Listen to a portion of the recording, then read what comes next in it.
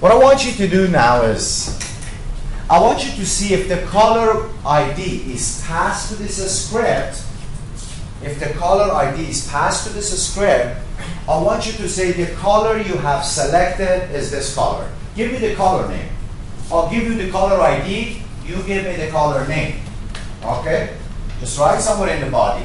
If the caller is passed, I'm giving you the color ID, you give me the caller name, whatever it is.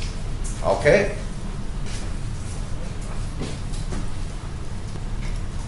So we're going to write the function to check this. I'm going to write the, all the function on the top. Later on, we move it to an external uh, file.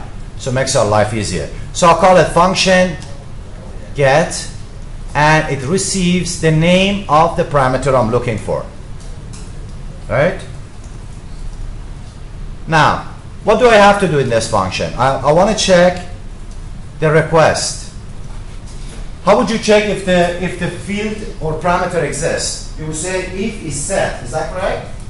You say if the field is set, give me the value. Otherwise, else return this. I can use a ternary operator for this as well. Is that correct? Can I use ternary operator? It's better. So I'll go do this. If the request contains the name I'm receiving in this function, right? If it is set, what I'm passing to the set, then I want to send the value. Otherwise, I will send an empty string. Does that make sense at all? Look at this. I'm saying return. First is this is going to happen.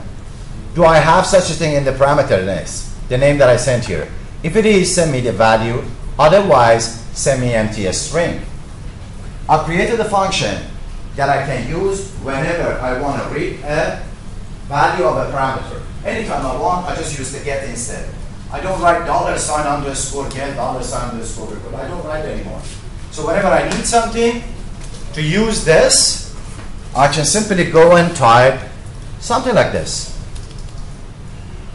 Get color. You see that? So if the color exists, it will return me the value. If it doesn't, it will return me an empty uh, string. Does that make sense? Okay. So now that I have this, I can simply write my if statement to check this. Let's do it together. Right after the selector statement, after the uh, for loop, uh, sorry, for my tag, I open the PHP tag again, and I write my code. I would say if get has value, otherwise it would return an empty string, which is false, right? What do I want to do? I want to get the color. Is that correct? So I will create a variable. I'll call it color ID equal get color. So I'm saving the value of the color into another variable just to make it easier to understand, right?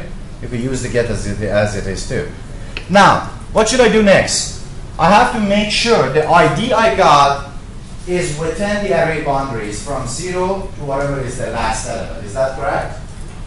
Can you create a function that you pass the value of the color ID, it sends you true or false if this is within the boundary of the array.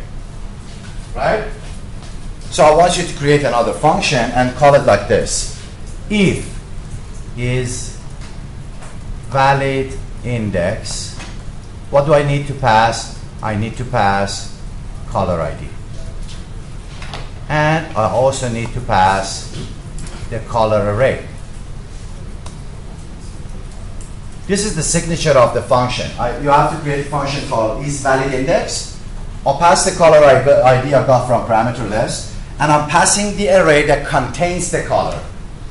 In that function, you have to check if this is a valid index, return true. If it's not, return false. Let's see if you can do that. I'll go right to function on the top as well.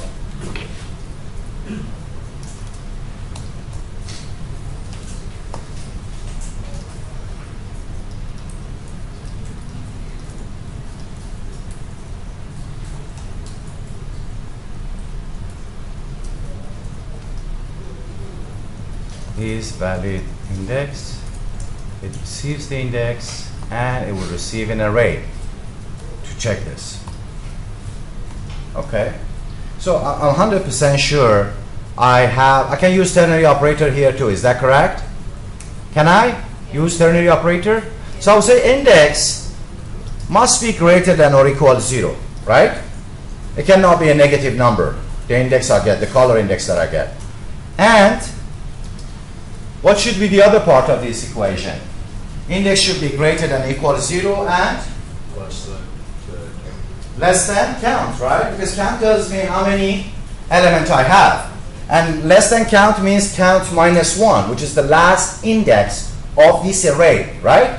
Whenever I want to access the last element, I say count array minus one. So here I would say and index is less than count array. So I simply need to just return this. Do I need ternary operator?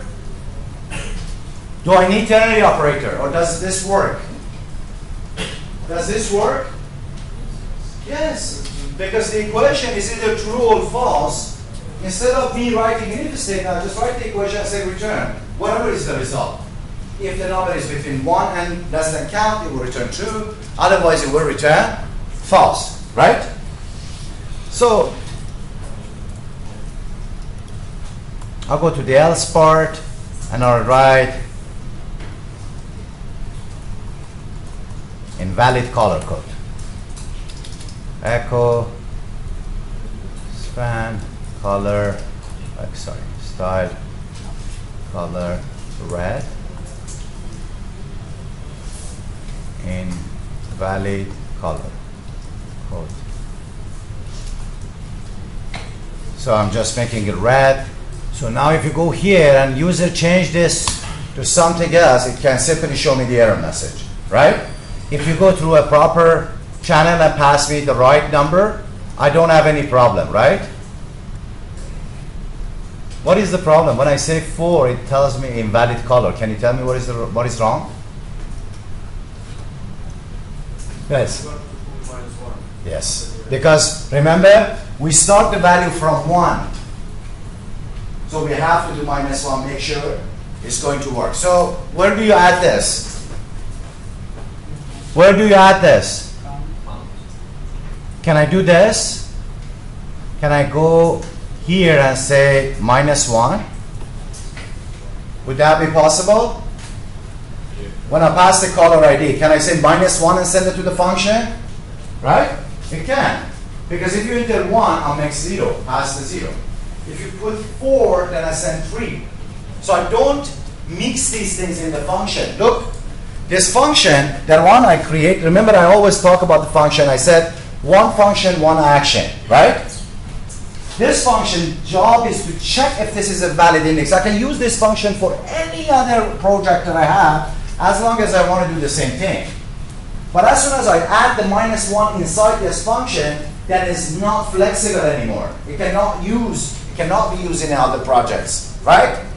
So I just send the minus one. If I go back to this code, I mean to the browser and do this and four, it's gonna work no problem.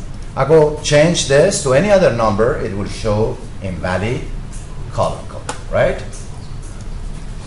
Do you have any question? Yes. Why wouldn't you put the minus one in the loop before loop? I just wanted to start from one. I could, right? When you start i, I could do that too. I could say i plus one as a value of the option. But I didn't want to do that, right? It's all up to your design. You can design it any way you want as long as you know both sides how it works, right? Any question? What I want you to do is, I said, if this is a valid index, I want you to print the color code. To say, the color you have selected is blue, green, red, yellow, and so on, right? You have the index, you have the array. If you come over here, it means the index is correct. You can safely use the index to access the element of the array, right?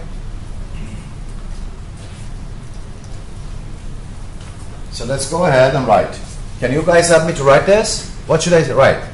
Echo, you have selected what? What should I type here? The name, I want, right? the color, array, right?